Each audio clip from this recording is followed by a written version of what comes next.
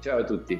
E ciao anche ai nuovi che è la prima volta che partecipano a un mio webinar, magari è la prima volta che partecipano a un webinar in generale.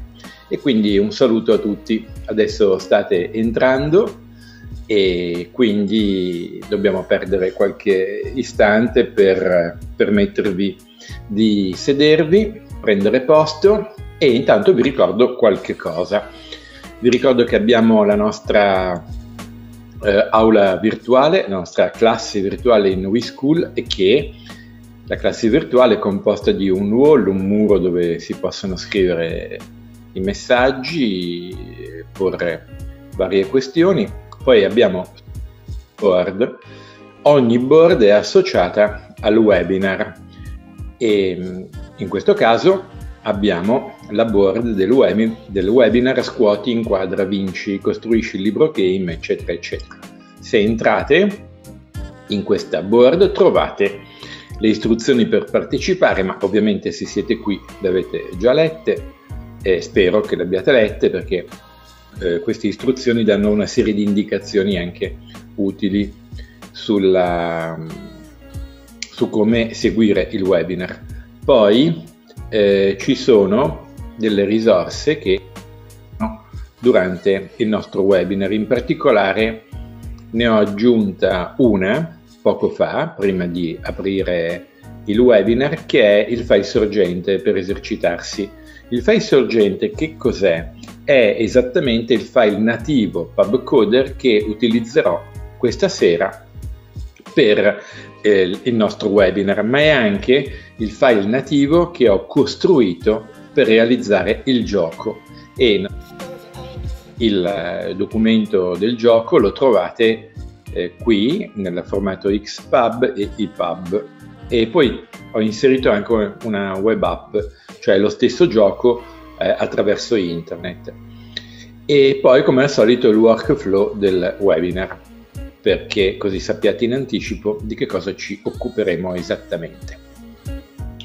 Poi eh, vi ricordo che voi potete, eccolo qua, voi potete eh, scaricare acquistandoli i, alcuni di webinar precedenti più un'altra serie di risorse, si trovano qui. Ecco, li potete scaricare, questa è una novità che ho messo a punto da poco, dopo alcuni esperimenti, li potete mh, noleggiare per eh, vederli eh, oppure proprio acquistarli e scaricarli. Dove c'è scritto webinar, così vedete webinar. Punto, è proprio il webinar, la registrazione del webinar. Non sono in ordine cronologico e sono ordinati diciamo un po' per argomenti, ecco. Poi ci sono altri documenti, sempre video, che non hanno la dicitura iniziale di webinar e che sono delle altre risorse utili per eh, eh diciamo, comprendere appieno i webinar che sono stati registrati. La cosa interessante di questo servizio, che è su Vimeo e che chiunque di voi può eh, acquisire, alla fine vendere i suoi prodotti, distribuirli in questo modo, la cosa interessante, dicevo, è che chi acquista tutta la serie completa, quindi qui si può eh, noleggiare oppure acquistare, ecco, chi acquista tutta la serie completa avrà sempre anche eh, tutti i nuovi, le nuovi video, nuove registrazioni e risorse che verranno inserite all'interno e questo è interessante, almeno fino al momento in cui non deciderò che avete troppa roba, che avete preso troppa roba pagandola poco e quindi non lo so, farò qualcosa d'altro. E, come si arriva qui? Beh, la cosa più semplice da fare è andare sul mio sito che è didanext.com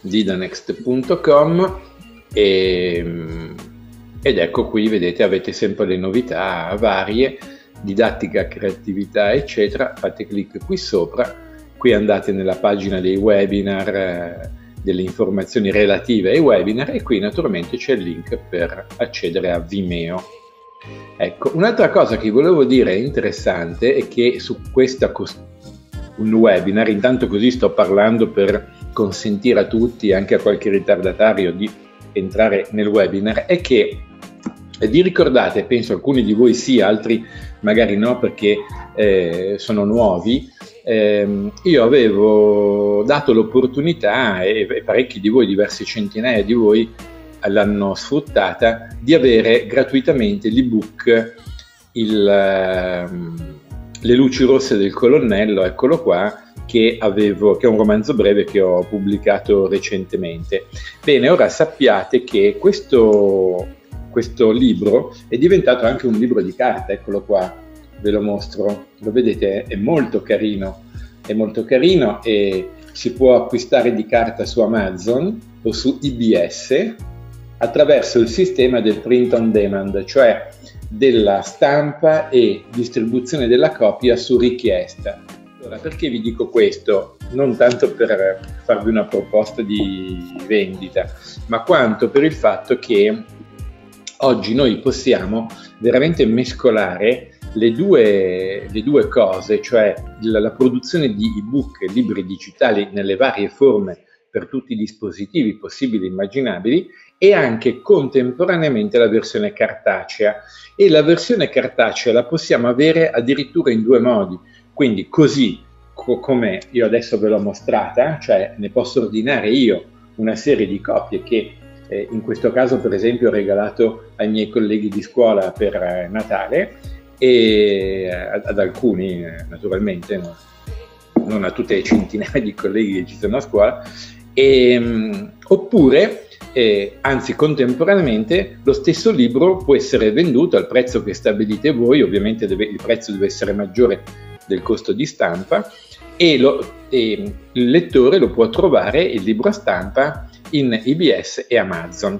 Allora, siccome ci sono molte novità interessanti in questo campo che consentono veramente alle organizzazioni di eh, poter creare i propri libri e venderli, per esempio una scuola di poter creare e vendere dei propri libri di testo e di poter creare e vendere i propri libri eh, per la formazione interna del personale, per esempio, oppure le guide eh, di determinati prodotti. E tutti i formatori possono eh, agevolmente proprie, i propri strumenti e proporli eh, allora ho pensato che può essere interessante fare un webinar di, eh, su questo argomento in, nel quale vi spiegherò esattamente che cosa dovete fare per ottenere il massimo risultato in questo campo. E dunque credo che faremo questo webinar giovedì sera. Prima di Natale lo voglio fare, voglio fare ancora un webinar prima di Natale. Comunque tra stasera e domani, insomma, cercherò di organizzare la cosa. Bene, direi che basta, siete entrati tutti e abbiamo fatto i nostri saluti, le nostre presentazioni e quindi cominciamo il nostro lavoro. Bene, allora scuoti, inquadra e vinci, costruisci il libro game con coding, QR code e tanta fantasia, ovviamente.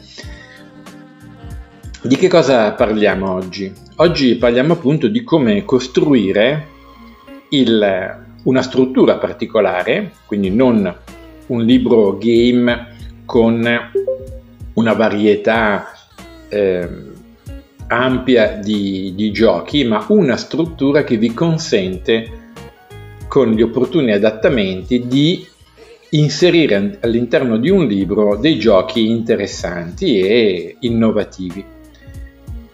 Per fare questa operazione dobbiamo prima occuparci di preparare l'interfaccia e la struttura, poi dobbiamo impostare gli eventi e le azioni perché?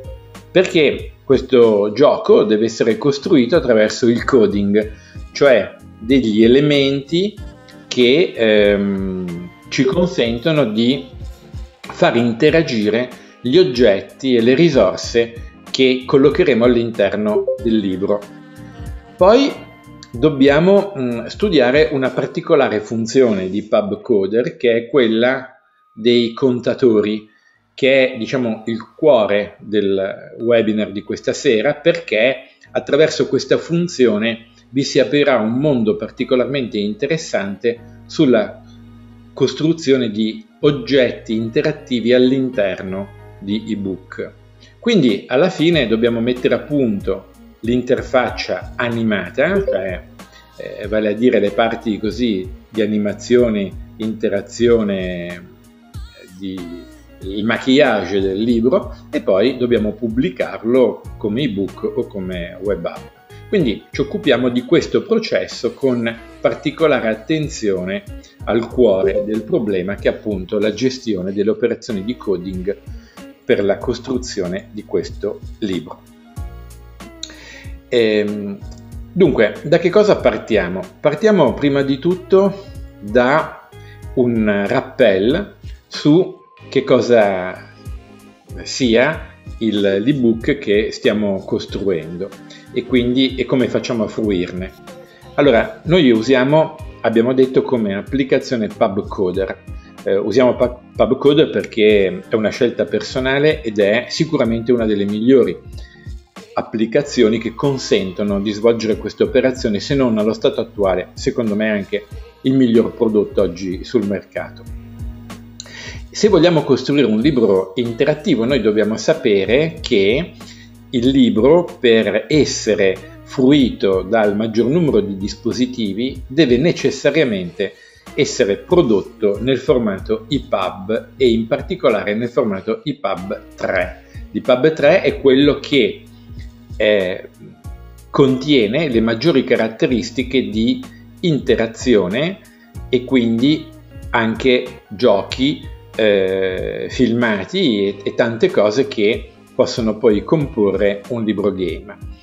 Il formato EPUB 3, come il formato EPUB, sono uno standard, uno standard che è stato elaborato da un consorzio al quale partecipano grandi multinazionali del settore, ma anche eh, piccoli operatori e per esempio vi partecipa a pieno titolo anche il team di PubCoder. Ecco perché è uno dei motivi per cui questa applicazione è perfettamente coerente con lo standard IPUB e IPUB 3. Che cosa vuol dire standard? Vuol dire che eh, chiunque eh, voglia costruire un lettore di libri che rispetti le specifiche che vengono stabilite da questo consorzio avrà come risultato il fatto che i lettori potranno fruire, grazie a questi reader, dei prodotti creati in EPUB 3 attraverso eh, tutti i dispositivi per i quali i reader sono stati creati. Quindi nella sostanza eh, abbiamo dei prodotti che hanno una grande visibilità attraverso eh, i sistemi iOS, Android, Windows, eccetera. E Qua, quali sono questi reader? Io vi consiglio per, eh, se usate i dispositivi iOS o Apple, naturalmente i Books, che è perfettamente compatibile con lo, spa, con lo standard di Pub 3. Se usate altri dispositivi, oppure anche lo stesso iOS, allora potete utilizzare Adobe Digital Edition, che è, è compatibile con lo standard di Pub 3. Altrimenti un'altra soluzione è di creare il prodotto, sempre con il PubCoder, ma nel formato XPub, che è un nuovo formato che è stato adottato da PubCoder e che è leggibile attraverso il reader specifico di PubCoder. Questo reader si chiama PubReader ed ovviamente lo trovate sia per i dispositivi iOS, quindi Apple, sto parlando di dispositivi mobili, sia per i dispositivi Android. Allora, riassumo, eh, i libri che noi possiamo produrre per avere la più ampia diffusione possibile devono essere in un formato standard e il principale, l'unico praticamente esistente è l'IPUB e IPUB 3. Dovete avere dei reader per poter leggere questi libri. iOS usate tranquillamente i books per altri sistemi potete impiegare Adobe Digital Edition e lo potete fare anche per i sistemi iOS e poi la novità con l'uscita della versione 3 di PubCoder che è proprio di questi giorni avete a disposizione anche un reader prodotto dagli stessi sviluppatori di PubCoder che è PubReader. PubReader legge i documenti nel formato XPub. Vedremo poi naturalmente come possiamo produrre il nostro eh, libro in, nei vari eh, formati. Allora, eh, io penso, spero che voi abbiate intanto eh, scaricato i documenti che sono all'interno della classe virtuale e che quindi abbiate giocato al libro game che ho creato e che si chiama Scuoti, inquadra e vinci.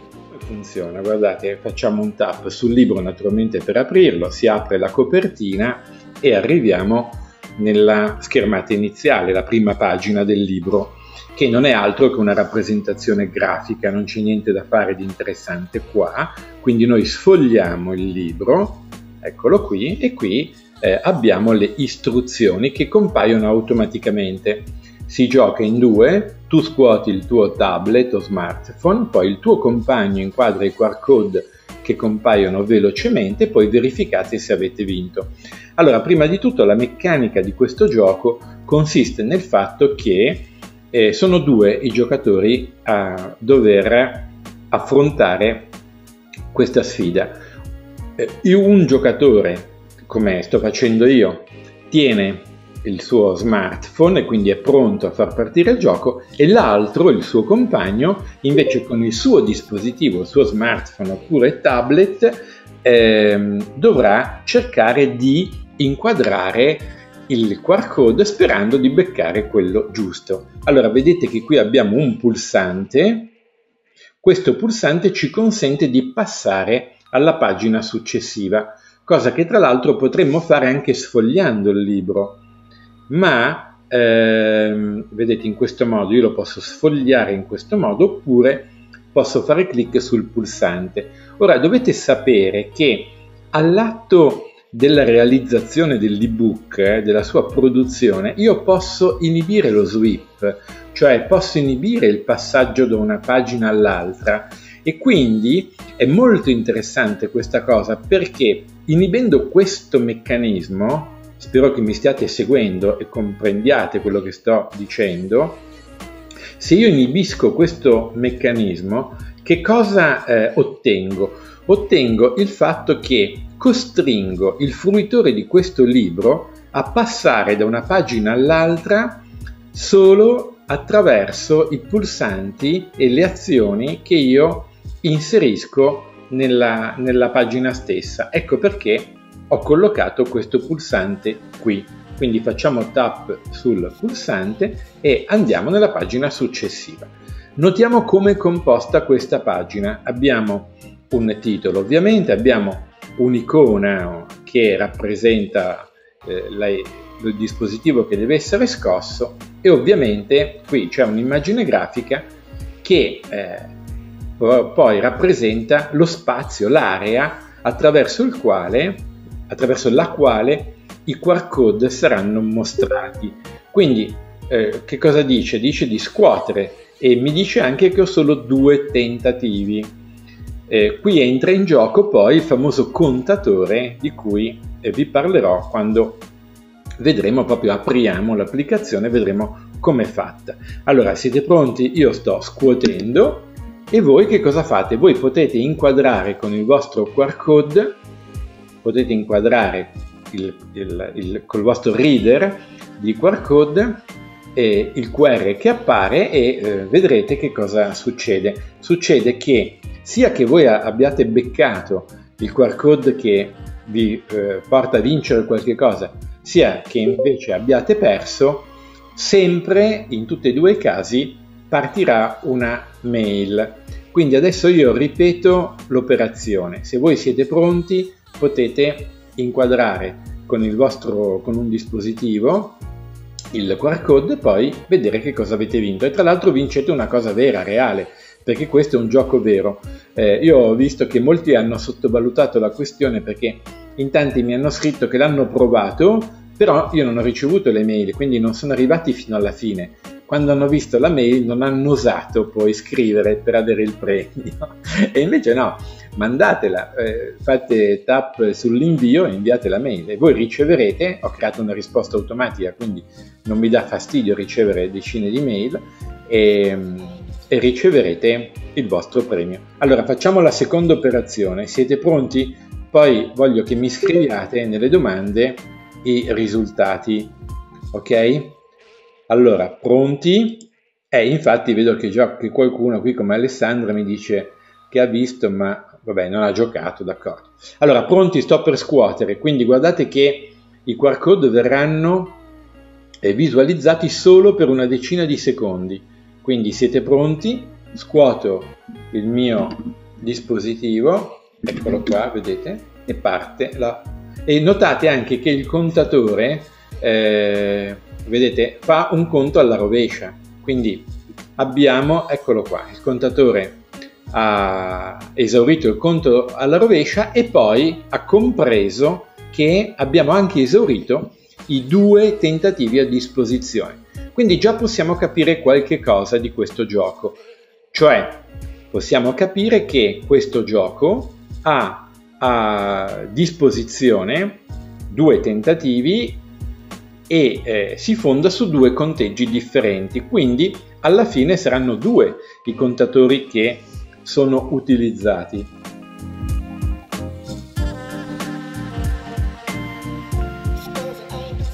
Il primo contatore è quello che effettua il conteggio alla rovescia e il secondo contatore sarà quello che conteggia il numero di tentativi. Quando il primo contati- eh, contatore raggiunge lo zero, cioè esaurisce il numero di tentativi, naturalmente il gioco si bloccherà. Ma quando il secondo contatore eh, avrà raggiunto il suo target, che consiste nel calcolare che sono stati effettuati due tentativi, si bloccherà il gioco.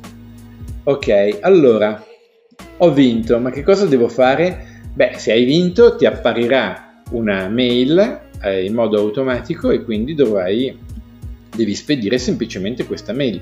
Appare automaticamente inserita nel QR code. Lo rifacciamo ancora una volta? Vedete il primo contatore, eccolo qua, il QR code appare quindi voi cercate di beccare il, eh, il QR code, lo rifaccio, così poi chiudiamo l'applicazione perché i tentativi a disposizione appunto sono due. Quindi voi inquadrate sia, sia che abbiate vinto sia che abbiate perso, vi eh, eh comparirà, si aprirà in automatico un, un, meccanismo per inviare una mail al sottoscritto con il testo già preimpostato. Allora, torniamo alle nostre slide e vediamo che cosa dobbiamo fare per costruire questo gioco. Allora, la prima cosa che dobbiamo fare è preparare l'interfaccia, cioè tutti gli elementi che saranno utilizzati all'interno dell'ebook per giocare. Quindi, prima di tutto, l'oggetto immagine lo vedete qui. Questo oggetto ci consente di inserire le immagini grafiche che importeremo da internet. Ecco una novità di PubCoder particolarmente interessante che possiamo costruire la grafica, eh, una grafica eh, libera da diritti, cioè che possiamo utilizzare realmente importandola direttamente da internet e la schermata sarà questa, per esempio se noi digitiamo smartphone, ecco che abbiamo a disposizione tutta una serie di icone che, tra le quali possiamo scegliere quelle di nostro interesse oppure possiamo cercare delle fotografie. Quindi la prima cosa da fare sarà disporre eh, le immagini necessarie per. E quelle che noi usiamo sono queste sono solo quattro le immagini che impieghiamo all'interno di questo libro. Ma la cosa importante ovviamente consiste nel predisporre i QR code che sono questi. Uno per la vincita e uno invece per eh, il risultato negativo. Eh, questi QR code si creano attraverso un'applicazione, cercati su internet, ho già fatto un, un webinar su questo tema potete trovare anche le indicazioni nella classe se vi recate oppure potete scaricare la registrazione del webinar. In ogni caso eh, potete creare questo tipo di QR code in modo gratuito attraverso i servizi che trovate in internet ehm, la cosa interessante è che avete la possibilità di associare l'invio di una mail ai QR code che avete creato. Quindi se l'utente li visualizza, ehm, automaticamente eh, verrà spedita un'email al, al, al destinatario che voi stabilirete. Dopo che avete preparato questi elementi, allora possiamo pensare a preparare le istruzioni dell'interfaccia e quindi eh, per esempio eh, quella pagina che permette al lettore di comprendere che cosa deve fare. E adesso io vi faccio vedere quali sono le azioni e gli eventi associati eh, al, cioè le azioni associate agli eventi in modo tale che possiamo costruire esattamente lo stesso meccanismo. Dunque avete notato che quando si apre questa pagina compare prima il pulsante istruzioni e poi automaticamente questo testo sparisce e in successione vengono mostrati il primo testo con la prima immagine, il secondo con la seconda immagine e così via e per ultimo compare il pulsante. Quindi non è niente di straordinario, però è un, eh, un'operazione anche questa che è creata attraverso elementi di coding. Perché? Se notate, se notate l'evento a cui ci si riferisce in questo caso è load, cioè come fa a partire automaticamente un processo di eh, rappresentazione, cioè come faccio a mostrare qualche cosa sullo schermo e a nasconderlo eh, senza premere un pulsante che lanci queste azioni.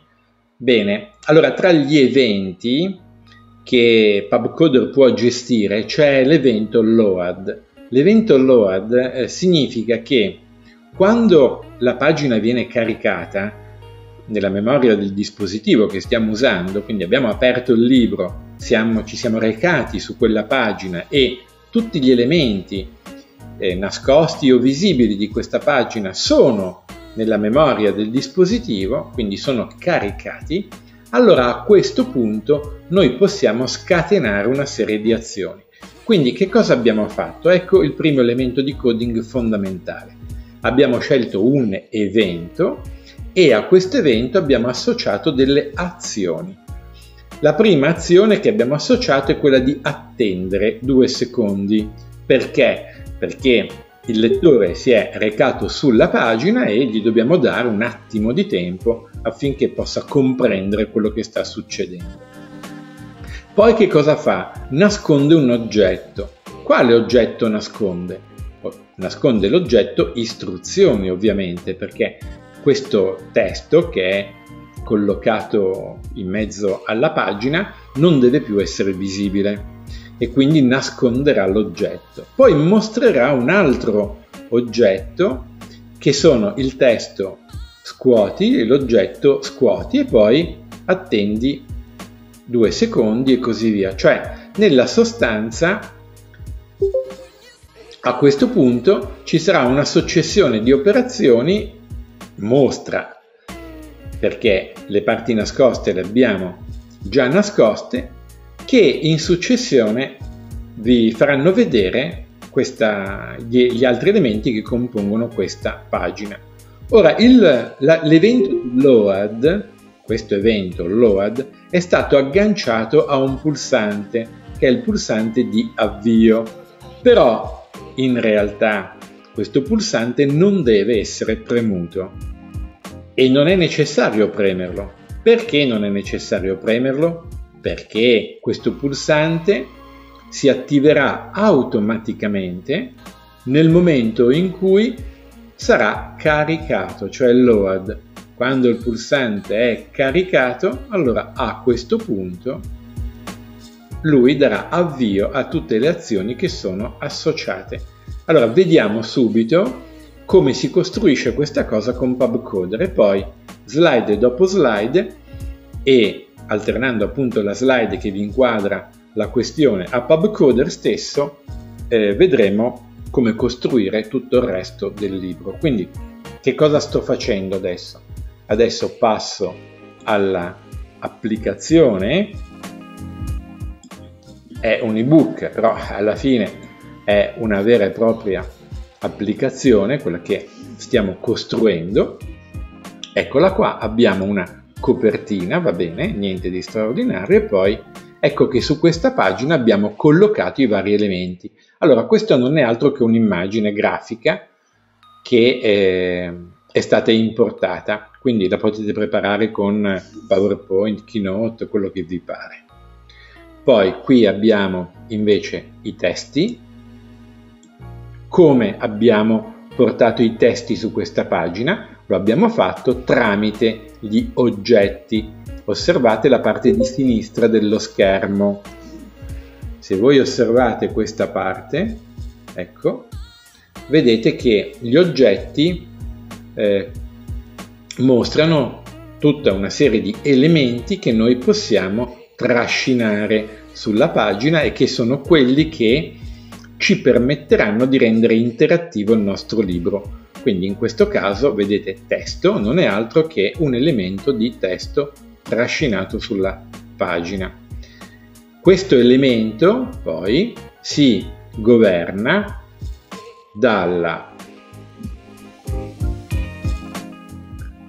sezione che è posta sulla destra che è quella delle proprietà, quindi la dimensione, il font, eh, l'allineamento, sono tutte cose che vengono stabilite in quest'area, mentre per eh, scrivere nel testo basta che io faccia un doppio clic all'interno di quest'area e posso naturalmente scrivere. Mm? Vi è chiaro il meccanismo? Quindi al testo poi abbiamo associato un'immagine. Come abbiamo fatto? Allora di nuovo ci siamo rivolti alla sezione che troviamo sulla sinistra, quindi abbiamo trascinato l'oggetto immagine, adesso lo faccio davvero perché vi voglio proprio mostrare come funziona l'oggetto immagine. Eccolo qua. Se faccio un doppio clic, eh, magari lo ingrandisco un po' così lo vedete meglio, se io faccio un doppio clic su questo oggetto compare una finestra che offre una serie di opportunità. Naturalmente posso scegliere dalla libreria asset, cioè posso scegliere tra le immagini che ho già a disposizione, oppure posso importare da disco, ma ecco quello che mi interessa ed è appunto una novità interessante di PubCoder 3, posso importare le immagini da internet e guardate che cosa succede. Se io scrivo smartphone e poi scelgo le icone, ecco che ho a disposizione una, diverse rappresentazioni grafiche anche in forma SVG che ha un formato vettoriale molto leggero e molto adatto per pubblicare dei libri perché li mantiene leggeri, non li appesantisce. Ne prendo una qualsiasi, per esempio questa.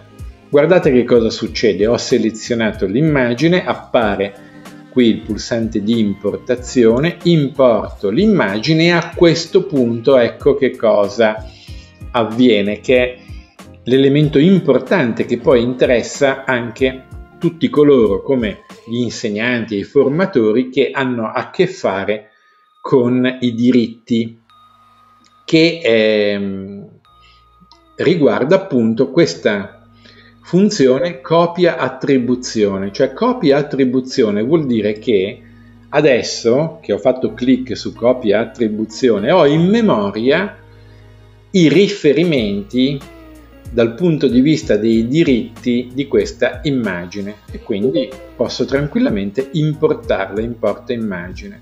Ok? Fatto. E vedete che io nel riquadro immagine ho questo, eh, questa icona.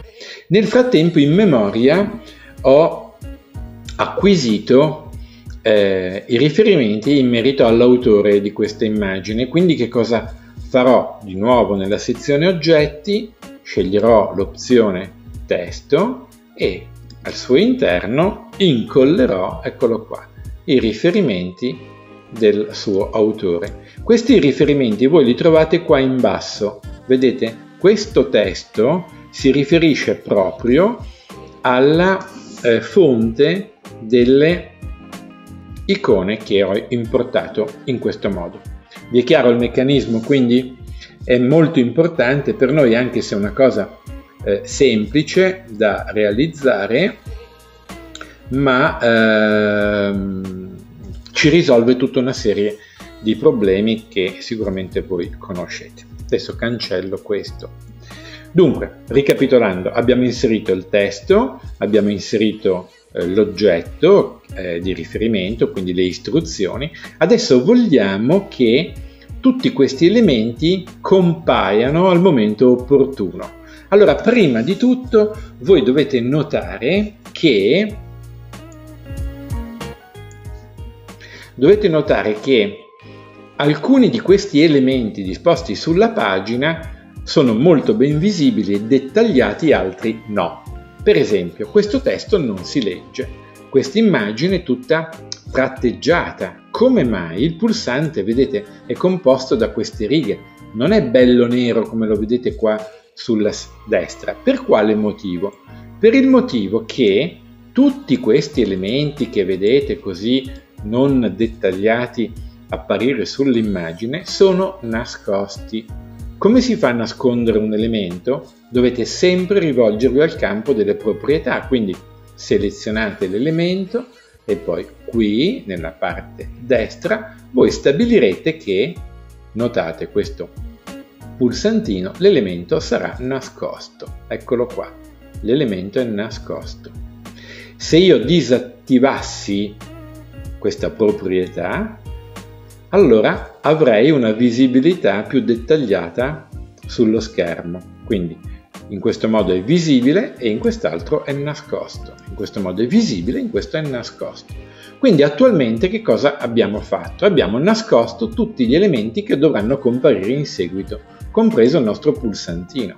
E abbiamo invece messo in evidenza, quindi abbiamo mantenuto visibile l'elemento istruzioni e poi la grafica di scuoti inquadra vinci e altri elementi che eh, possono essere utili. Vediamo, facciamo una controprova. E intanto attraverso questa controprova voi potete vedere quali sono le funzionalità di anteprima. Anteprima la apro la finestra di dialogo di anteprima e scelgo anteprima veloce di pagina. Lui fa i suoi bravi calcoletti ed ecco infatti come appare la pagina. Appare esattamente così e poi un po' per volta naturalmente compaiono le, i vari elementi. Allora, come facciamo adesso a far comparire questi elementi?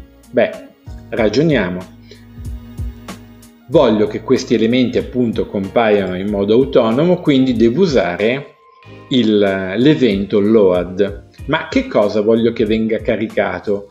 Eh, diciamo, voglio far comparire gli elementi quando viene caricato questo, questa icona? No, aggiungo un pulsante anche per farvi vedere in questo modo come funzionano i pulsanti. Io li aggiungo semplicemente così, eccolo qua, pulsante, poi un doppio clic cambio il nome in avvio e a questo punto ho due possibilità. Ho un bel pulsante di avvio qui, per cui io posso scegliere, guardate sulla parte destra questa volta, nella sezione interazioni. Io posso scegliere l'elemento eh, tap, cioè l'evento tap, e quindi posso associare all'evento tap, per esempio, non lo so, eh, mostra oggetto e quindi posso far comparire, eh, che ne so, un testo piuttosto che il pulsantino eh, che è nascosto, d'accordo? Però questo richiede che l'utente, il lettore, faccia tap sul pulsante di avvio. Io non voglio che questo avvenga, quindi non voglio che la reazione sia determinata dal toccare questo pulsante. Quindi guardate cosa faccio, cancello semplicemente l'oggetto che ho, l'azione che ho associato a tap e invece prendo l'azione di load. Quindi quando il pulsante verrà caricato, allora succederanno una serie di azioni. Naturalmente a questo punto lo devo nascondere il pulsante, quindi fra le sue proprietà gli dirò che deve stare bello nascosto, perché altrimenti viene istintivo per l'utente toccare il pulsante. E che cosa gli dovrò dire? Beh, guardate, prima di tutto gli dovrò dire che dovrà nascondere questo testo. E quindi come farò? Seleziono sempre il pulsante, eh, shake è l'evento, cioè scusate, show truffa, mm, load è, è l'evento a cui associo l'azione di nascondere. Cominciamo a nascondere un po' di oggetti. Nascondi oggetto. Vedete come funziona? Lui mi dice nascondi oggetto me stesso. No, non voglio che nascondi me stesso. Eccolo qua. Dovete guardare la, la finestra che trovate al fondo di questa sezione. Facciamo clic su questa eh, sul target, sull'oggetto target che non può essere me stesso, ma deve essere per esempio nascondi che cosa? Il testo di istruzioni. Quindi qual è il testo di istruzioni? Il testo, eccolo qua, Questo è il testo di istruzione, lo vedete che è stato evidenziato. Quindi quando questa pagina verrà caricata, perché alla fine il pulsante viene caricato poi insieme a tutti gli altri elementi, allora il, l'oggetto istruzioni verrà nascosto. E torniamo sempre qui in basso, nella parte di destra, nella sezione delle interazioni. Se io gli dico che deve essere nascosto in 0,3 secondi, ecco che determino una dissolvenza. E poi da lì naturalmente possiamo continuare, possiamo dire per esempio aggiungi nuova azione, attendi, attendi. Per esempio un paio di secondi direi, attendi un paio di secondi perché? Perché il lettore ha visto sparire istruzioni, quindi sa che sta succedendo qualcosa, si mette in attesa. Lo facciamo attendere e poi gli diremo di mostrare, vedete, un po' per volta tutti questi oggetti. Eh, continuo l'esempio solo per uno di questi oggetti perché poi la cosa sarà ripetitiva e passiamo invece alla costruzione del gioco vero e proprio.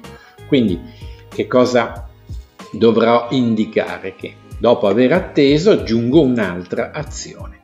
L'altra azione sarà ovviamente mostra, no? perché questi oggetti erano nascosti quindi mostra oggetto, anche qui dobbiamo decidere qual è l'oggetto target. Allora cominciamo dal primo, il primo è, sarà il testo eh, scuoti, quindi lo nasconderà il testo scuoti, e, cioè lo mostrerà. E poi mostrerà anche, mostra un altro oggetto che sarà questa eh, icona qui, quindi mostra, vediamo, non me stesso, ma, ma, ma, ma, andiamola a prendere, eh, scuoti, eccola qua, l'icona scuoti. Diremo che anche qui, per esempio, ci metterà, non so, un terzo di secondo per fare questa operazione, eccola qua, e eh, adesso vi insegno un trucchettino. Notate che tutte le azioni associate a questo evento sono staccate fra di loro. Se noi vogliamo fare in modo che queste azioni siano simultanee, le dobbiamo unire.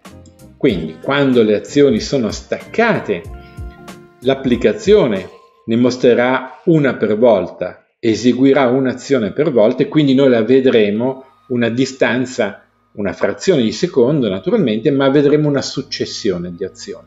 Se invece le attacchiamo, e guardate cosa sto facendo, prendo l'azione mostra oggetto, scuoti, e, la, e l'associo fino a che la linea rossa, la vedete, la linea rossa si attacca al mostra oggetto che c'è sopra e alla fine queste due azioni sono attaccate fra di loro, quindi vengono eseguite insieme.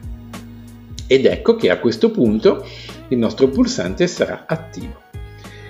Poi possiamo collocare naturalmente il pulsante di eh, passaggio alla pagina successiva, ma questo è banale perché dobbiamo associare a questo pulsante l'evento tap, perché a questo punto l'utente deve proprio premere il, col suo ditino e poi gli diremo come azione, associeremo, associeremo, associeremo l'azione di vai alla pagina successiva all'evento tap e il gioco è fatto.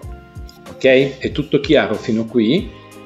Mi dite mi date un feedback che state seguendo perché adesso il gioco si fa duro e quando il gioco si fa duro, conoscete la battuta, i duri cominciano a giocare. Però intanto con questo, la composizione di questa prima pagina abbiamo visto un po' come funziona il meccanismo all'interno di PubCoder.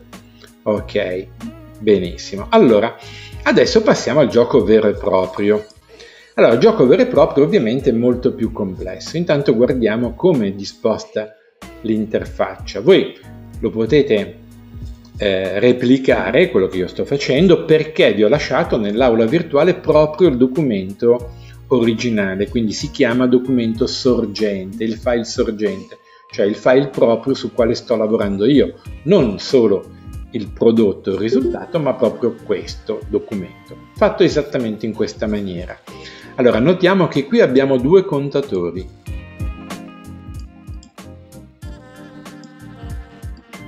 Ecco qua, abbiamo due contatori. Uno, e si vede un po' poco penso, perché eh, lo schermo è grande, gli oggetti sono piccoli, ma sono questi due. Poi abbiamo l'icona che abbiamo visto anche prima e osservate qui dentro abbiamo un campo di testo. Questo campo di testo contiene il numero 10. Lo vedete? Eccolo qua. È un campo di testo piccolino collocato su questo schermo. Tra l'altro questo campo di testo è stato eh, regolato in modo che il colore del testo sia bianco. Come si regola il colore? Ma sempre nelle proprietà lo vedete, si, si passa dagli oggetti che sono collocati sulla sinistra alle proprietà degli oggetti che invece sono collocati nell'area di destra e quindi basta selezionare il testo, il nostro oggetto in questo caso testo e poi qua colore, naturalmente definite il colore che desiderate. E quindi deve essere bianco perché compare sullo sfondo nero dell'icona. Oh, poi abbiamo un elemento audio. Perché? Perché il, mentre il conteggio, il gioco funziona, c'è una colonna sonora che, mm, di intrattenimento, di suspense che viene avviata. Poi che cosa abbiamo? Abbiamo due cose qui. Abbiamo un oggetto che adesso vedremo molto interessante, che è l'oggetto di animazione che contiene i QR code. E poi qui invece abbiamo semplicemente un'icona che non ha nessuna funzione se non quella di occupare uno spazio bianco. E poi abbiamo due, diciamo fino a questo punto il meccanismo del gioco è costruito con questi elementi. Poi ne abbiamo altri due invece che stabiliscono che noi abbiamo esaurito tutti i nostri tentativi e sono appunto questa eh, questo oggetto che non è altro che un oggetto di testo con questa scritta, un oggetto di testo su sfondo nero che adesso è nascosto. Lo vedete infatti se io lo rendo visibile, ecco come appare. Appare in questo modo, nero col testo bianco e l'abbiamo collocato fuori dell'area visibile al lettore. E poi abbiamo un pulsantino che è questo, anche questo nascosto, perché quando il gioco finirà il lettore potrà tramite questo pulsantino passare alla pagina successiva. Sarà interessante vedere in che modo questo elemento che è stato collocato fuori dalla pagina fa il suo ingresso invece nella pagina. Adesso vediamo come il gioco è stato costruito. Quindi vediamo dove e come sono state collocate le interazioni. Allora, passiamo un attimo alla nostra interfaccia tramite eh, il, le nostre slide perché parliamo di diagrammi di flusso e vediamo due modi di rappresentare un diagramma di flusso per la costruzione del gioco. Questo è molto importante soprattutto se lavorate con delle altre persone, per esempio con i vostri allievi in classe, perché prima il giochetto deve essere progettato. Allora, qual è il meccanismo? Il meccanismo è che nel momento io, in cui io scuoto, scuoto il mio smartphone, cioè utilizzerò l'evento shake, e adesso passo a PubCoder e ve lo mostro, l'evento shake, eccolo qua, lo troviamo sulla destra, vedete, l'elemento shake, che è associato a questa immagine, quindi ho scelto un oggetto qualsiasi che però rimanga presente sulla pagina in modo che possa recepire l'evento shake. Quindi quando viene ricevuto l'evento shake succedono due cose e queste cose succedono contemporaneamente. Sono indicate da queste frecce azzurre. La prima è che parte un'animazione. Questa animazione è composta da due QR code. È quella che voi avete visto. Cioè prima viene mostrato il QR code 1, poi il 2, poi l'1, poi il 2, poi l'1, poi il 2, poi l'1, poi il 2. Per quante volte? Adesso questo lo vedremo. Però parte questa azione. Anzi direi che parte il loop di questa azione. In secondo luogo, ecco la seconda freccia blu, parte anche il contatore che si chiama contatempo 10, 9, beh qui ci andrebbe l'8, ovviamente io ho fatto il copia e incolla della figura precedente, 8 e così via. Quindi il contatore scalerà i valori da 10 fino a 1. Nel momento in cui arriva alla fine, quindi il contatore si dice che raggiunge il suo target, attenzione, raggiunge il suo obiettivo, ecco che parte la sequenza di eventi che mh, mm, è indicata dalla freccia viola, vale a dire si interromperà a questo punto l'animazione e in secondo luogo bisognerà dire a un altro contatore, cioè il contatore che abbiamo chiamato con il termine di tentativi, che è stato eseguito il primo tentativo. E quindi questo contatore se lo segnerà perché il target di questo contatore è pari a 2 i tentativi possibili sono 2 voi potete anche indicarne 3 o 4 ovviamente di tentativi. E naturalmente in questo caso le azioni saranno ripetute 3 o 4 volte quindi a quel punto riparte tutto il processo quindi si ritorna alla freccia blu riparte l'animazione riparte il conteggio e di nuovo verrà interrotta l'animazione. Però a questo punto siamo con la freccia rossa. Perché? Perché la freccia rossa mi indica che semplicemente che sarà interrotto tutto il gioco. Quindi qui interromperemo l'animazione e a questo punto verrà caricato nel contatore che abbiamo chiamato tentativi verrà caricato un'altra esecuzione del gioco. Il contatore si porterà a livello di 2 e quindi dirà oh caspita ho raggiunto il mio target. Che cosa devo fare? beh dovrai fare le cose che abbiamo assegnato a te caro contatore numero che hai raggiunto il target e quindi dovrai nascondere e mostrare di nuovo quello che abbiamo visto prima quindi nasconderai degli elementi che non servono più cioè tutte le componenti del gioco e poi farai apparire la pagina che, la, diciamo, l'informazione che abbiamo visto prima, cioè hai esaurito i tuoi due tentativi a disposizione. Questo è un modo per lavorare con un flusso grafico, con un diagramma di flusso, però in modo visuale, grafico. Potete usare 10.000 applicazioni per fare questo. Altrimenti possiamo usare invece un diagramma di flusso logico, cioè le stesse identiche operazioni, però sono come dire, riprodotte su un quaderno attraverso delle, semplicemente un testo che logicamente attraverso una successione di operazioni spiega quello che dobbiamo fare. Quindi lo shake, d'accordo? Questi sono gli elementi di programmazione che abbiamo stabilito all'interno di PubCoder, quindi cambia testo, mostra oggetto, riproduci, decrementa il contatore e così via, ma qui è in realtà la spiegazione che noi ci siamo annotati quando abbiamo voluto creare il gioco. Quindi riproduci l'animazione, cambia il testo da scuoti a inquadra. Certo perché se io ti dico che devi scuotere il tuo, il tuo dispositivo e tu l'hai agitato, a quel punto compaiono i QR code e quindi ti devo dire che tu devi inquadrare i QR code, non devi più scuotere niente. Quindi mostra il contatore, decrementa il contatore, conta il contatore conta tempo, attendi un secondo, decrementa il contatore conta tempo, attendi un secondo, decrementa eccetera eccetera, fino a che poi devi decrementare il contatore tentativi e il contatore tentativi poi interromperà il gioco. Allora mi dite che è tutto chiaro, deve essere tutto chiaro, assolutamente perché adesso dobbiamo vedere veramente come si costruisce, quindi con PubCoder tutto questo.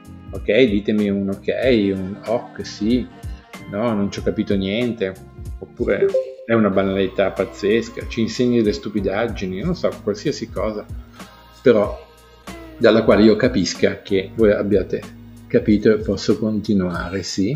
Insomma, eh, c'è un insomma. Allora, mh, mm, Palamina che scrive insomma, eh, Palamina, se c'è qualche cosa che magari ti è sfuggito, in, qua, in, quanto in quello che ho spiegato, ci possiamo sempre poi ritrovare anche nella classe virtuale. Qualche domanda la potete sempre porre, io cercherò di rispondere. Intanto seguiamo perché Ripeteremo quello che vi ho appena spiegato però attraverso la costruzione di questa interfaccia. Allora, che cosa faccio io? Guardate, io per esempio creo proprio una nuova pagina e la porto qui, è una pagina bianca, perché voglio vedere un po' fino a che punto riusciamo a ricostruire le cose. Allora, prendo la pagina che ho chiamato gioco, intanto notate che ogni pagina ha il suo nome e che qui nella sezione, nella prima sezione, che è quella, del, eccola, quella della pagina, nella sezione diciamo delle proprietà, abbiamo il titolo della pagina e poi abbiamo stabilito che questa pagina è anche un inizio di capitolo. Perché vedete così avremo come capitoli del libro il capitolo copertina, informazioni, gioco, poi c'è una pagina che non serve a niente, quella che io ho creato adesso, più quella di autore. E ognuna di queste pagine sarà un capitolo. Naturalmente fra un capitolo e l'altro possono esserci tante pagine che non necessariamente devono avere un nome né devono essere dei capitoli. Però voi distinguete una pagina capitolo da un'altra dal fatto che c'è questo pulsantino rosso che identifica, vedete? C'è questo segnalibro rosso che identifica le pagine capitolo, mentre le pagine invece normali non hanno questo segnalibro. Allora, il punto da cui partire è questa icona.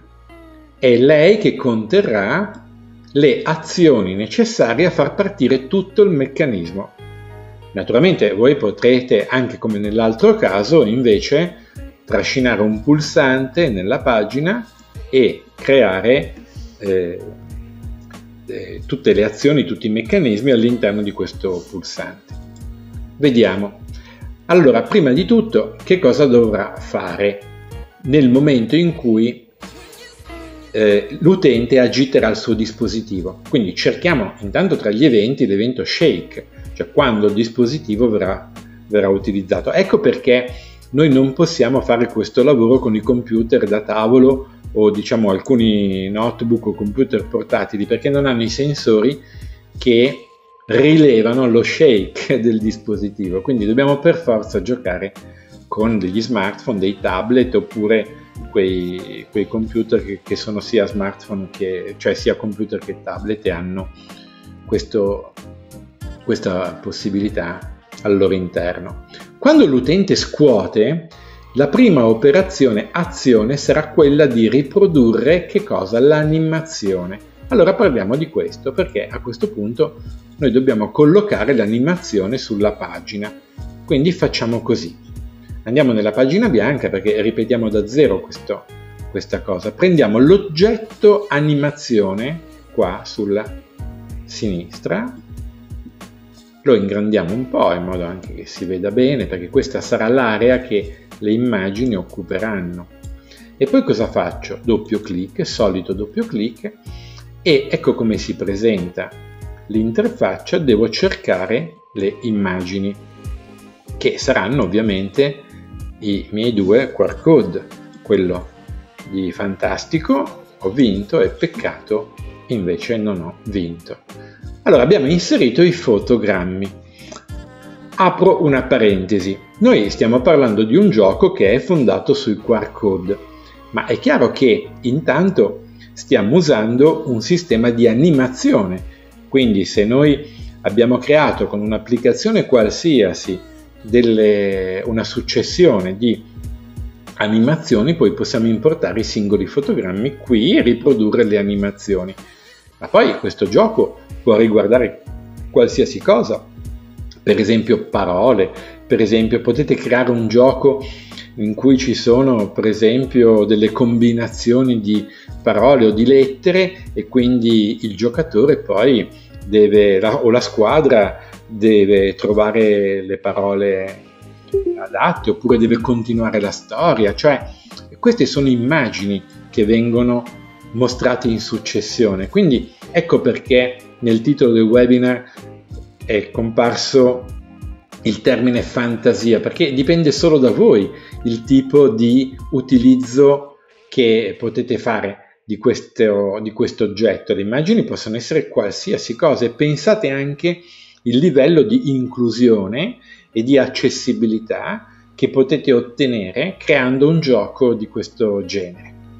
Dunque, adesso abbiamo inserito le nostre due immagini, perfetto, ma eh, come facciamo a far partire l'animazione? Beh, guardate, intanto voi avete il programma sorgente, quindi fate quello che faccio io, cioè tornate nella, indietro nella pagina e prendete questo oggetto e guardate come sono regolate le proprietà dell'oggetto. Vediamo un po', perché potrebbe dirci la sezione delle proprietà qualche cosa di interessante. Allora ci dice che noi vogliamo trasmettere i fotogrammi, 4 fotogrammi al secondo. Quindi 4 fotogrammi al secondo vuol dire che ognuno di queste immagini persiste un quarto di secondo sullo schermo, una frazione di secondo, cioè è una frazione accettabile nel momento in cui io devo essere veloce, tac, col mio QR code reader a inquadrare lo schermo e, e, a, e, e vedere poi naturalmente qual è il risultato. Poi mi dice anche che contemporaneamente parte un suono. Eccolo qua parte un suono. Quindi il suono è stato scelto sempre dalla libreria in questo modo. Naturalmente le mie scelte qui si riducono a un file audio solo perché è quello che ho importato. E quindi eccolo qua, a questo file audio che parte automaticamente nel momento in cui il gioco parte. Naturalmente io potrei anche decidere di continuare all'infinito questo gioco, va bene, ma gli dirò invece che quando ha finito il gioco eh, deve rimanere sull'ultimo fotogramma.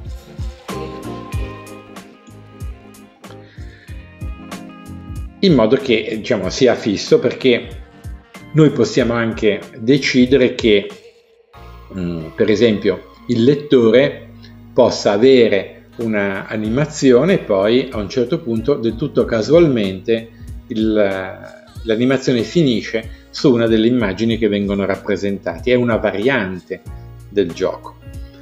Nella sostanza, che cosa abbiamo stabilito? Che da, questo, da queste icone dell'evento associato Shake, come prima cosa parte l'animazione parte l'animazione e succederà che deve cambiare come secondo eh, azione collegata che deve cambiare il testo. Vi ricordate? Questo era il testo scuoti, Come deve essere cambiato il testo? Deve essere cambiato da scuoti in inquadra. Quindi guardate l'operazione che noi facciamo. Il testo scuoti, questo, deve cambiare in, guardate qua in basso, modifica testo. Facciamo, e c'è una rondellina molto piccola, vediamo se riesco a mostrarvela. C'è questa rotellina molto piccola, se io faccio un tap su questa rotellina, ecco che appare il riquadro all'interno del quale scrivere il nuovo testo, che non è una sostituzione del precedente, è solo che lui si ricorda che deve sostituire il testo di prima con quest'altro inquadra. È molto interessante questa funzione dello sostituisci testo. Anche qui io invito a eh, utilizzare la vostra fantasia. Potete creare dei dialoghi tra personaggi, potete creare delle mappe a scomparsa che fanno apparire e scomparire delle informazioni sempre all'interno di uno stesso campo di testo. È molto comodo senza riempire eh, la pagina di decine o centinaia di oggetti. E poi naturalmente la solita durata, dissolvenza e così via. Quindi vi è chiaro? La seconda operazione che abbiamo compiuto è prima riproduci l'animazione e poi cambi il testo. E adesso cosa dovrai fare? Dovrai mostrare oggetto numero, numeri, riprodurre l'animazione, nascondere l'oggetto, mostrare oggetti, eccetera, eccetera. Vediamo un po' per volta in che cosa consistono queste operazioni. Vediamo, mostriamo l'oggetto numeri. Che cos'è l'oggetto numeri? Andiamolo a cercare. L'oggetto numeri è questo qua, piccolino. Eccolo qua, l'oggetto numeri è questo. E lo devi mostrare perché era nascosto e noi vogliamo far vedere al nostro utente che il contatore sta contando. Poi riproduci l'animazione ovviamente a questo punto e eh, nasconderai eccolo qua l'oggetto che sarebbe ops, vediamo se riusciamo a mostrarlo eccolo qua deve nascondere ecco l'immagine di sfondo perché eh, sopra deve comparire l'animazione dei nostri QR code. Vedete che sono due immagini, una sovrapposta all'altra. Avevamo anche altre soluzioni, eh? per esempio quella di far passare di livello eh, un'immagine rispetto all'altra, anche questo è possibile. Ritorniamo al nostro pulsantino. Poi nascondi oggetto, mostrerai ovviamente l'oggetto animazione e poi a questo punto ecco che iniziamo a contare e questa è la parte più interessante del nostro programmino e cioè abbiamo prima di tutto creato i due contatori eccoli qua. Il contatore tentativi e il contatore conta.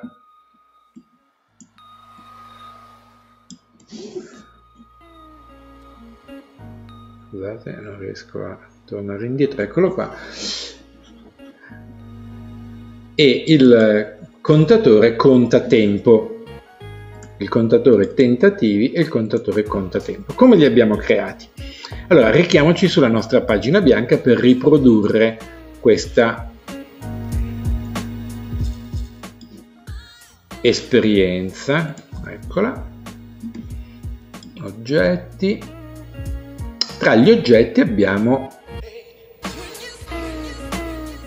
il contatore, che sono i controller, cioè quelli che ci consentono, per esempio, di stabilire una lista di azioni, aree interattive, avere degli oggetti all'interno, fra questi c'è il contatore. Noi lo trasciniamo e diciamo che questo contatore conta il numero conta il tempo, d'accordo?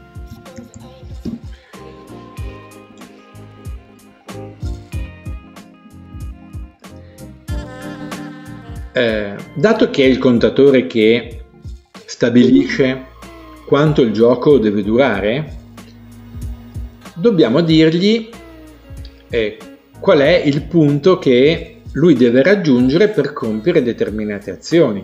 Quindi torniamo nella parte di destra dove possiamo stabilire le proprietà di questo contatore ed ecco che le troviamo qua. Qual è il valore target del contatore? Beh, diciamo che il target sia 10.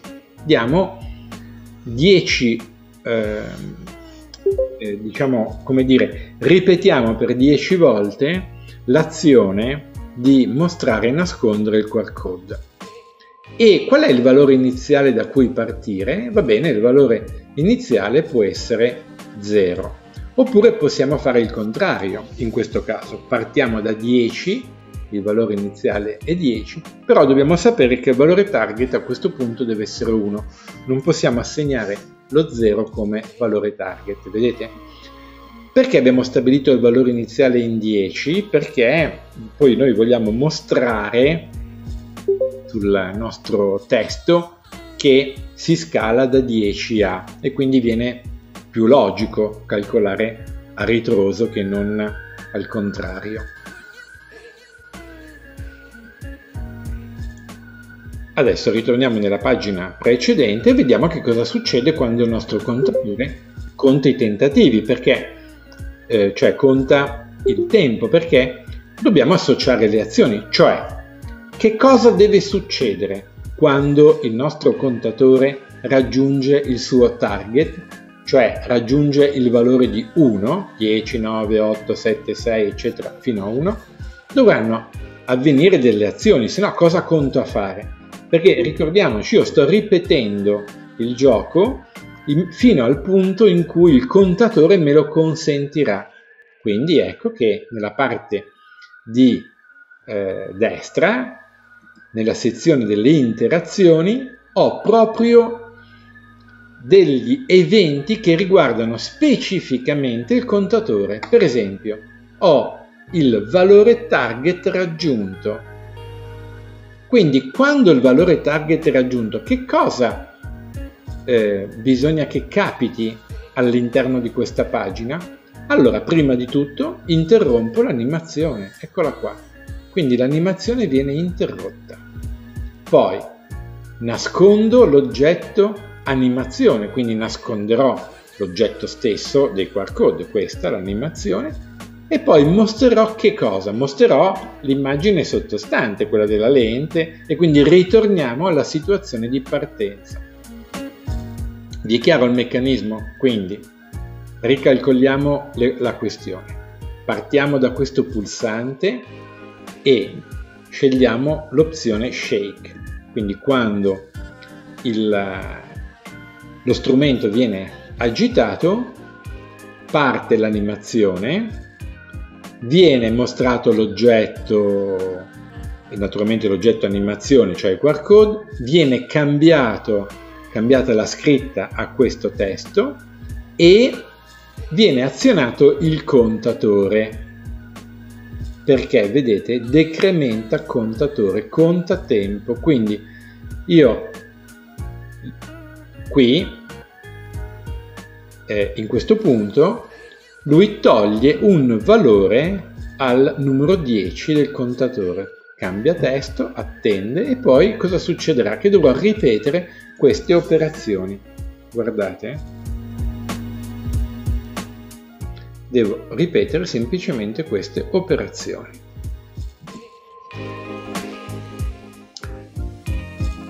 Quindi decrementa di un punto, poi attende un secondo e quindi in questa attesa di un secondo l'animazione va avanti, poi decrementa di nuovo il contatore, attende un secondo, in questa attesa di un secondo il contatore va avanti, decrementa il contatore, attende un secondo e così va avanti. Va avanti per 9 volte ovviamente, cioè tante quante sono 10 meno 1, cioè le 9 volte, 9 ripetizioni di. Quando è arrivato alla fine, quando è arrivato alla fine, ecco che a questo punto incrementa l'altro contatore, cioè questo che abbiamo creato qui e che lo riproduciamo nella nostra pagina bianca, funziona in questo modo. Trascino il contatore sulla pagina, gli do come nome quello di contare i tentativi, cioè i tentativi generali, e ovviamente siccome i tentativi sono due, il valore target sarà questo, sarà 2. E quindi in questo caso non decrementerò il contatore, ma farò invece lo incrementerò, cioè aggiungerò gli elementi. E infatti così succede. Cioè quando qui io ho esaurito decrementa contatore, decrementa contatore, arrivo alla fine, quindi se voi calcolate sono 9 queste operazioni, a questo punto cambio testo, naturalmente, è chiaro, poi incremento il contatore tentativi e poi cambierò testo da inquadra in scuoti perché ritorniamo alla situazione precedente. Che cosa deve fare il contatore tentativi? Il contatore tentativi dovrà registrare il numero che gli è stato assegnato, quindi primo tentativo, ma anche lì, quando ha raggiunto il target, dovrà fare una serie di operazioni, e cioè, vediamole qua, conta i tentativi. Dovrà per esempio interrompere l'animazione. Quale animazione? Beh, ovviamente quella che abbiamo inserito nella pagina. Poi che cosa dovrà fare? Dovrà mostrare, mostra, ok, e poi dovrà nascondere, cioè dovrà mostrare, dovrà nascondere degli oggetti. che sono i vari elementi che appaiono sulla pagina, con un elemento in più, che è questo che abbiamo visto, che farà la, il suo ingresso all'interno della pagina in questo modo. Quindi vediamo che cosa, come si crea questo. Si crea con l'oggetto, con l'azione sposta l'oggetto. Quindi vediamo di ricrearla questa situazione nella pagina nuova. Quindi abbiamo collocato, anzi facciamo così, collochiamo un oggetto qualsiasi, eh, un testo, bene, fuori, fuori dalla nostra, dal nostro, dalla, dalla visuale della pagina, scriviamo al suo interno. Fine, va bene, semplicemente così, giusto per farvi vedere come funziona questo meccanismo. E poi diciamo che a questo punto quando il valore target è raggiunto, quindi siamo nel contatore che conta i tentativi, quando il valore target è raggiunto cosa dovrà fare? Dovrà spostare questo oggetto sulla pagina. Quindi faremo così, aggiungi una nuova azione. L'azione sarà quella di sposta, sposta oggetto e guardate come l'oggetto lo spostiamo. Dobbiamo prima individuarlo e sarà questo. Poi compare, vedete qui, un pulsantino.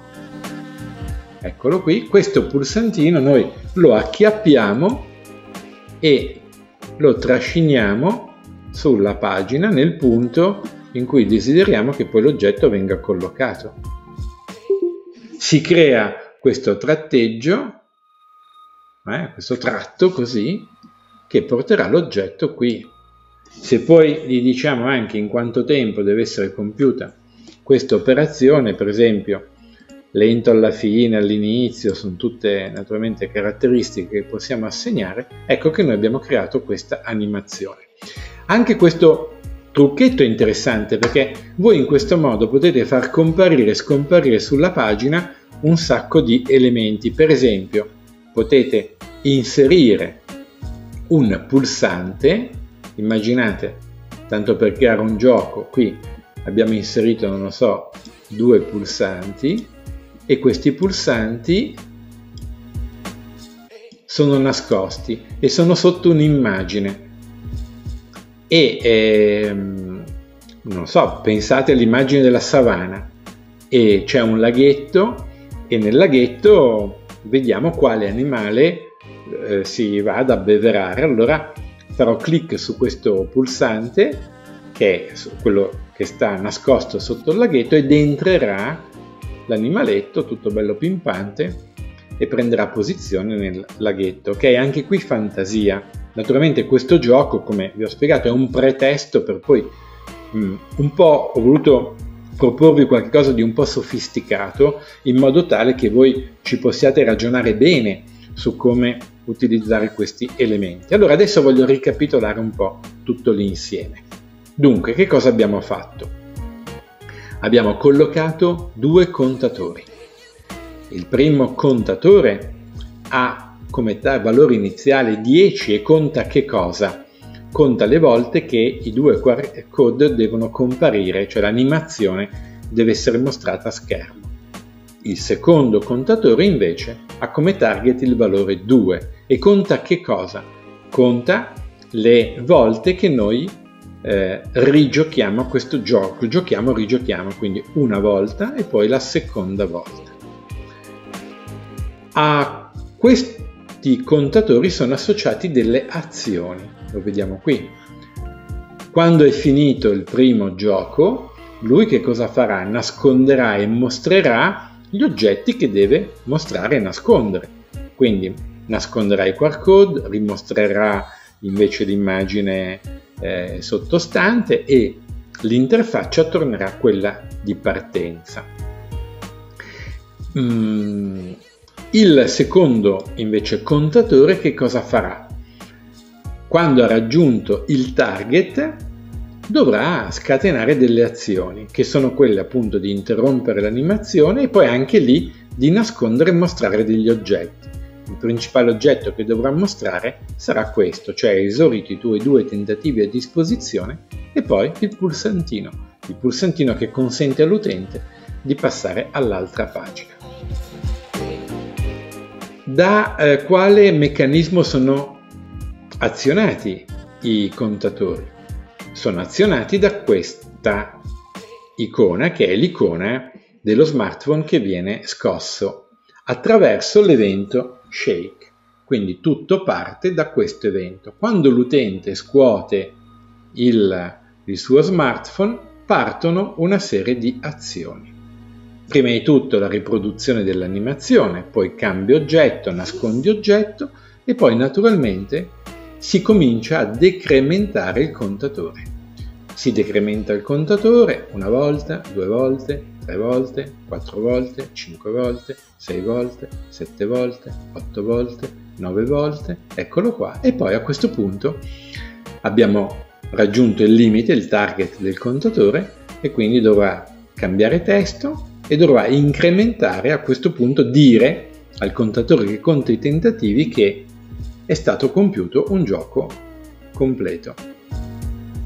Il contatore dei tentativi lo registra e se ha raggiunto il valore target, cioè se il gioco è stato fatto due volte, lui interromperà tutto, mostrerà quello che dovrà mostrare e nasconderà quello che dovrà nascondere. Guardate, è più facile farlo che spiegarlo, ovviamente penso che abbiate tutti gli elementi per poterci ragionare. Eh, avete il lavoro pubblicato, avete, avrete le mie slide a disposizione, chi vorrà avrà anche la registrazione del webinar, avete la classe per poter porre delle domande, avete il file sorgente, io più di così non posso fare. E è difficile spiegare queste cose a distanza, ma eh, spero di esserci riuscito e che abbiate capito il meccanismo attraverso il quale possiamo creare questo gioco e quindi a partire dall'unione di animazioni, contatori, oggetti da far comparire e scomparire e eh, anche le musichette così che rendono simpatico l'ambiente, poi sta alla vostra fantasia creare veramente dei libri game interessanti, per esempio per gli insegnanti delle scuole elementari con i disegni dei bambini, per eh, insegnanti magari di discipline specifiche e impegnative, costruire delle interfacce che scoprano diversi elementi attraverso un meccanismo di gioco. Quindi io a questo punto che cosa faccio? A questo punto eh, devo parlarvi della pubblicazione, quindi come si pubblica.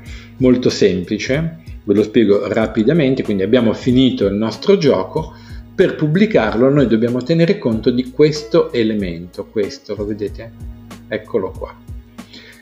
E scegliamo i pub 3, vedete da qui in alto a sinistra, scegliamo i pub 3 dalle varie opportunità che abbiamo a disposizione o Xpub.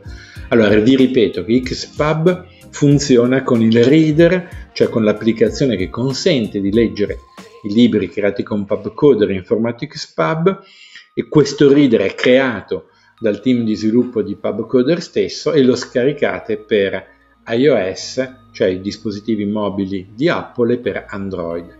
Altrimenti utilizzate PUB 3, che poi è lo standard dell'IPUB e eh, in questo caso vi ho già parlato dei reader necessari per, per leggerlo. Quindi scegliamo i PUB 3 e poi guardate che cosa facciamo.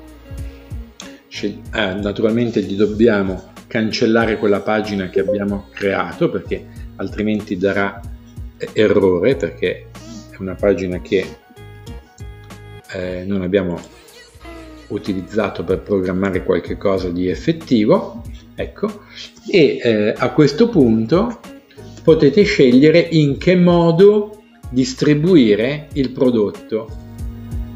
Potete farlo attraverso il wifi, se lo fate attraverso wifi qui comparirà un QR code e quindi eh, questo QR code vi porterà sulla, sulla pagina che è questa, però naturalmente qui siamo su una rete locale, non siamo su internet, quindi se voi provate non funziona il sistema, ma mh, mm, col vostro dispositivo eh, portatile, mobile, voi caricherete direttamente il libro sul vostro dispositivo.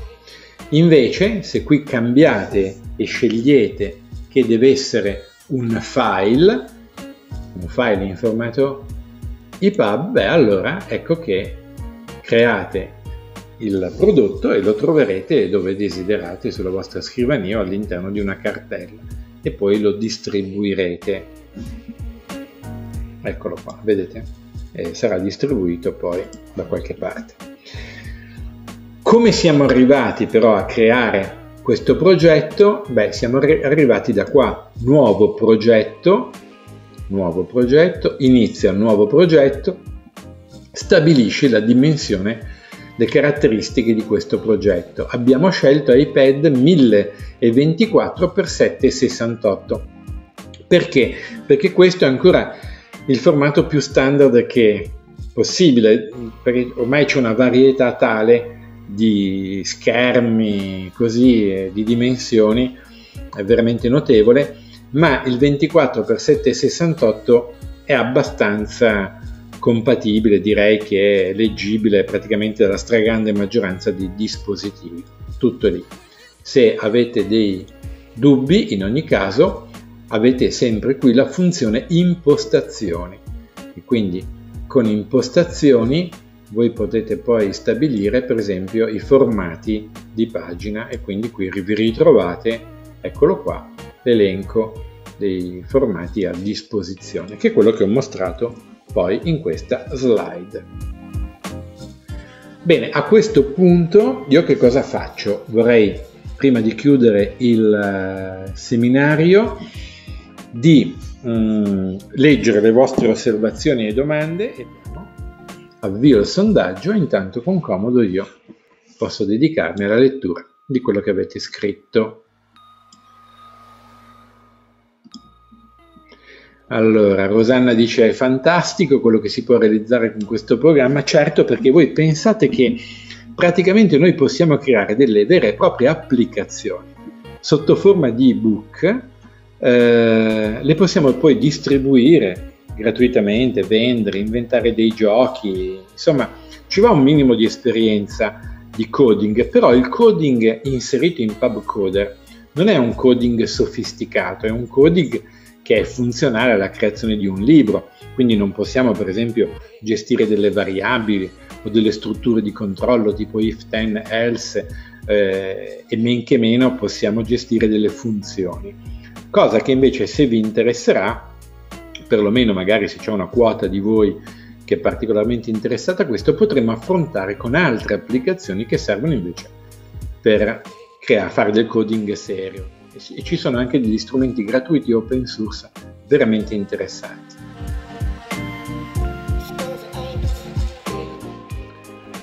Prima di inserire, di procedere nella costruzione del gioco, ha eseguito l'upload degli oggetti da inserire. Certo, prima ho preparato tutto, prima ho pensato il gioco e l'ho pensato buttando giù degli schemi. E siccome non l'ho fatto questo con gli studenti, non sono stato a preparare diagrammi di flusso che eh, ho buttato giù due schizzi e poi l'ho realizzato direttamente. Invece con gli studenti dobbiamo lavorare in modo molto meticoloso perché poi loro si distraggono, non si ricordano quello che devono fare, eccetera, quindi è bene ragionare su quello che si vuole fare. Allora, se il numero fosse maggiore di 10 non c'è un ciclo che consente di ripetere l'azione per non riscrivere più volte, beh, allora in questo caso sì, ed entra in gioco la lista azioni. Voi dovrete utilizzare la lista azioni perché tutto il sistema che è stato agganciato all'icona de- che scuote l'iPhone lo trasferite all'interno di una lista azioni e poi ripetete semplicemente la lista azioni. Però io mh, ho creato diciamo questo, questo diagramma di flusso, non è quello che io farei se dovessi programmare questo gioco all'interno di PubCoder, ma è quello che invece farei se lo dovessi spiegare, perché altrimenti metterei troppa carne al fuoco. Per cui entrano in gioco altri elementi, però prova ad, ad utilizzare la listazione, o perlomeno guarda come è fatta, e poi casomai ne possiamo riparlare. Dunque il gioco si fa, certo, scuotendo dal lettore, esatto, dovete scuotere proprio il dispositivo. Sì, usate questo... Sì, usate 1024, Giuseppina chiede 1024x768 perché? Perché poi il gioco lo, voi lo distribuirete, quindi c'è chi lo guarderà su un piccolo smartphone, chi lo guarda su un iPad Pro da 13 pollici, cioè eh, voi, eh, ormai c'è una tale differenza e varietà di strumenti che è molto complicato e, e, non possiamo pensare di realizzare un prodotto per ognuno di questi perché? Perché cambiando le dimensioni dell'interfaccia poi noi dobbiamo riposizionare tutto, no, diventa un lavoro che non, non ha senso a questo livello chiaramente. Quindi direi che quella dimensione lì è abbastanza standard per garantire una buona visualizzazione un po' dappertutto. Va bene, allora eh, quando voi, adesso vediamo i risultati, poi chiudiamo il webinar.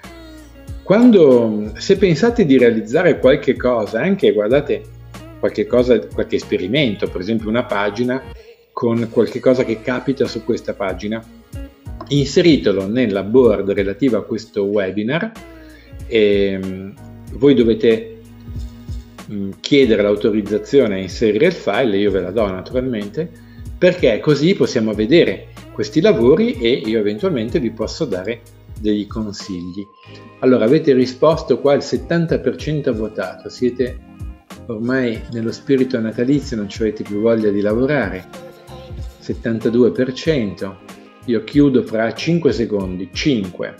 Sono, chiudo tramite il mio contatore umano, quello che ho incorporato, 5, 4, 3, 2, 1 chiudo il sondaggio, ci siamo, tac, chiudo il sondaggio e mostro i risultati.